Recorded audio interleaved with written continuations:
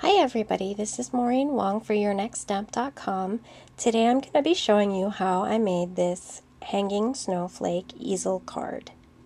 It's really simple and it's using a bunch of dies and a stamp from YourNextStamp.com. Okay, let's get started.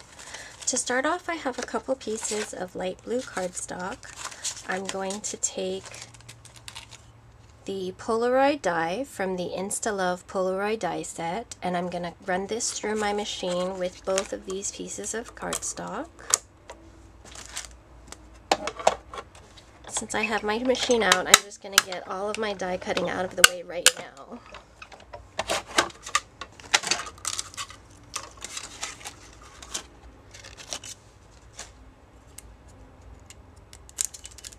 So that's one.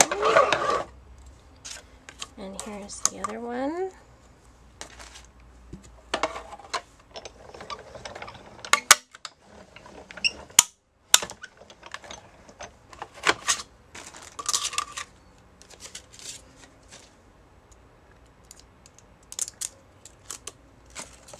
Okay. Now I also have a snowflake. This one is from the Warm Winter Wishes die set.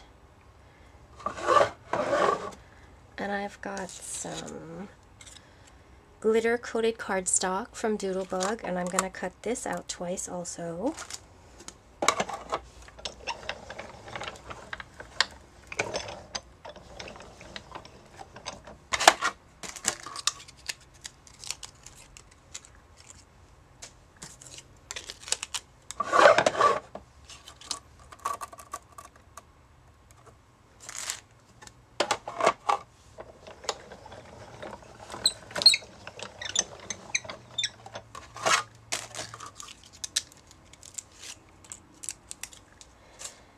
And finally, I have the must-have border die set one. This is the zigzag die, or I guess it could be called a rickrack die.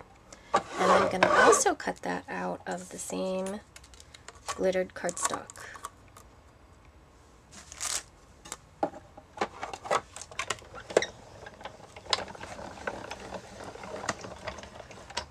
I'm going to be using this as the inside stopper for the easel.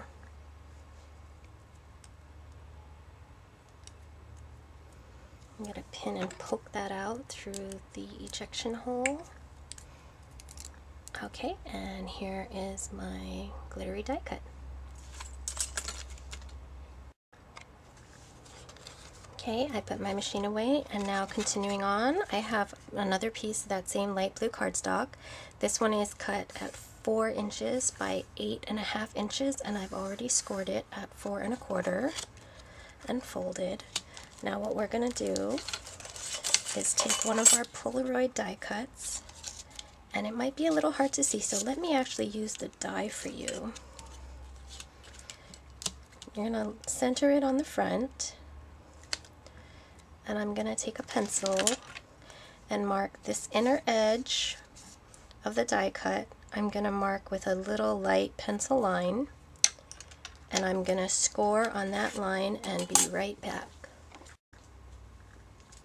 Okay, you can see here's the pencil line and I have scored it and folded it and this is the base of our easel card. Now I'm going to take an eraser and just get rid of that pencil line because that is going to show.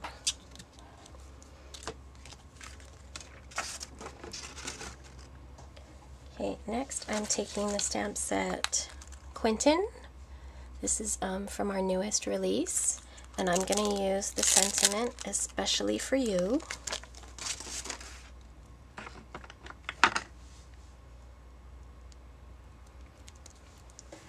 I'm just using VersaFine Onyx Black ink. I'm going to stamp that on one of the Polaroid die cuts.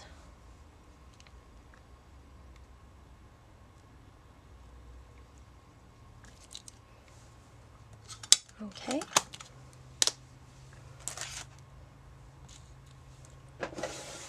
Now what I'm going to do is I'm going to take a little piece of thread And I have my two snowflake die cuts.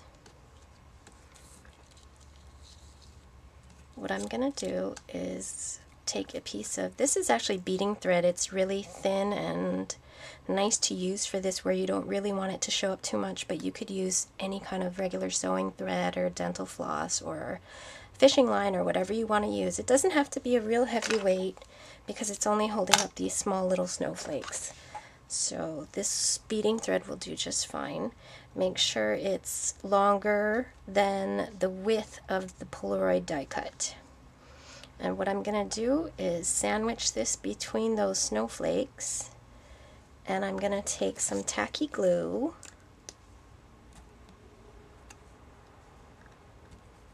and let me move this thread out of the way.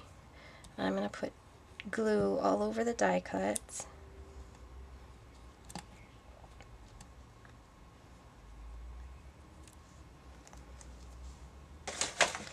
I'm going to put that thread in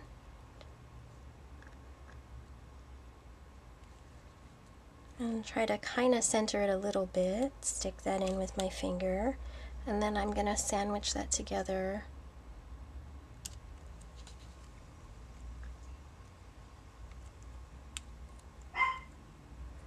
Actually that's not the way it goes. Let's see.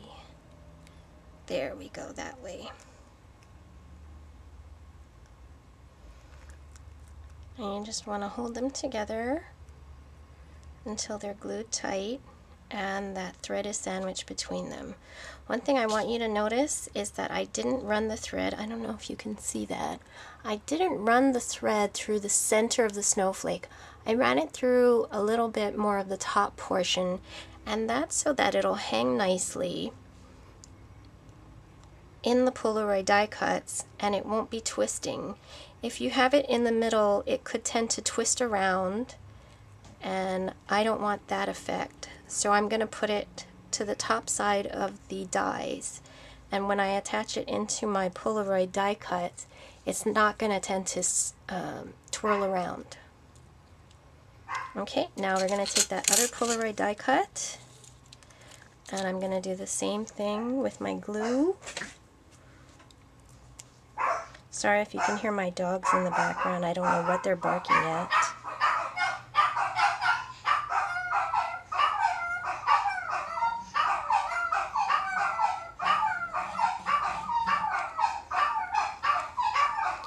And I'm going to go ahead and take my die cut snowflake and kind of center that in the middle of them and put my two Polaroid die cuts together. Let's add a little extra glue there.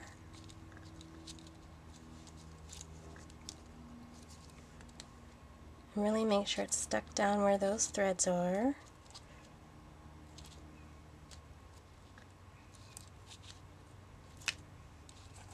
And if it's a little taut, that's fine. If it's a little loose, that's fine as well. You can see it does tend to swing around, but it's not going to go twirling all the way around.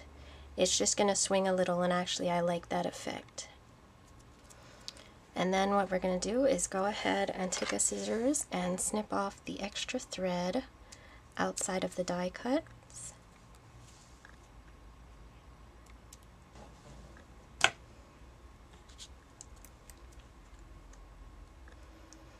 Now we bring our folded card back in and hopefully you can see that folded edge.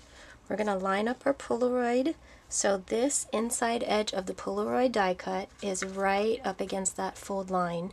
So you're not going to see that fold line when it goes up and down. So I'm going to take some adhesive and we're just attaching the bottom section of the Polaroid die cut so don't put glue on these edges because that's going to stick it all the way down and you're not going to get an easel card. So you can see I'm lining the inside of the die cut up with the fold.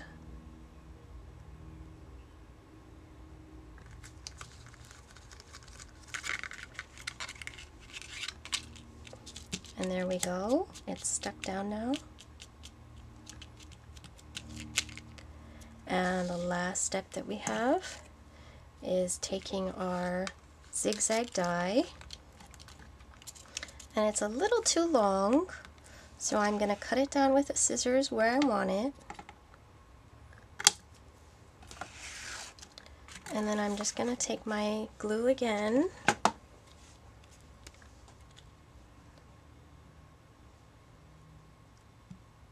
I'm trying not to put too much glue on there. We don't want it all seeping out.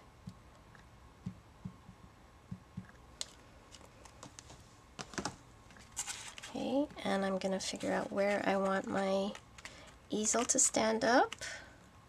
And then I'm going to glue my zigzag die right in front of that so it acts as a stopper.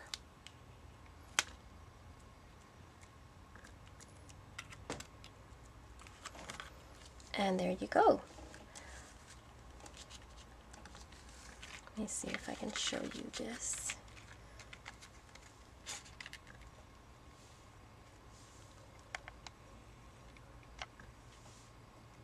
It's a hanging snowflake easel card.